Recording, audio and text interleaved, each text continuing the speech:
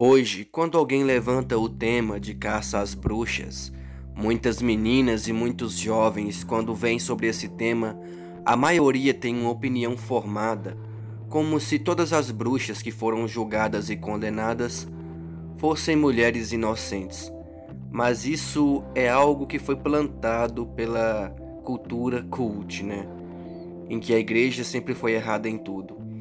Nós estamos no século 21 nós já presenciamos coisas incríveis, já levamos o ser humano à Lua e coisas mais incríveis como mandar um robô para Marte.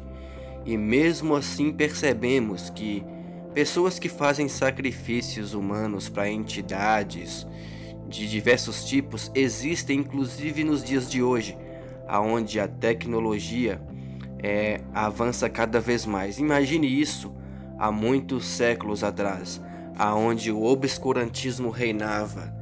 Elas acreditam realmente que muitas crianças do passado não foram pegas por estas mulheres e feitos trabalhos realmente cruéis com elas. E também vale se lembrar mais coisas de que muitas bruxas que eram consideradas conhecedoras de remédios, muitas também cometiam um crime também que era de infanticídio, que nada mais é do que você usar de ervas para é, abortar crianças ou pior, o próprio aborto que é feito com utensílios. Se naquela época isso era considerado como pena de morte, não é de se estranhar que muitas mulheres foram mortas por infanticídio e também por essas manipulações de plantas medicinais.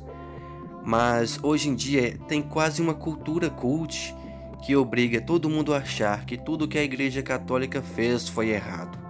Eles sempre acreditam nisso.